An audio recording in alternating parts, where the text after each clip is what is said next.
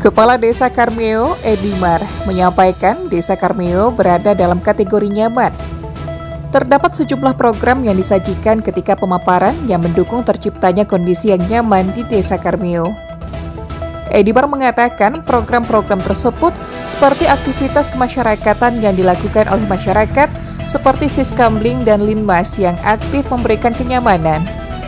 Selain itu, dalam upaya menyelesaikan permasalahan, Desa Karmeo mengupayakan penyelesaian secara kekeluargaan. Lebih lanjut, Edimar menyampaikan rasa terima kasihnya kepada Pemkab Batanghari yang telah menyelenggarakan ajang Kades Tangguh Award tahun 2024. Ia juga berharap melalui ajang tersebut, para kepala desa dapat termotivasi dalam membangun dan meningkatkan kinerja guna memajukan desa di Kabupaten Batanghari. Muhammad Aryuda, Cik melaporkan.